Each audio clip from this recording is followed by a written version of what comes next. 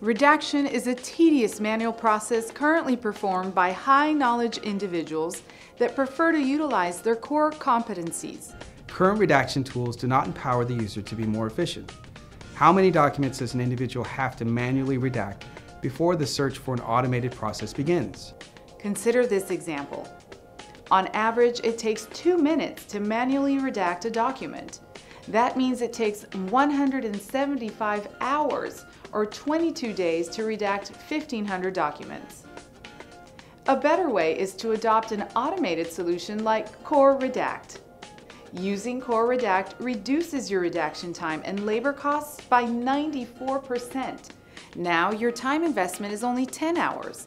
Plus, your labor costs are significantly reduced. Let's assume a labor cost of $60 per hour.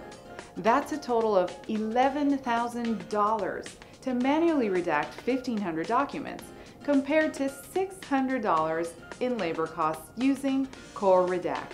Core Redact allows the user to work better, faster, and more economically.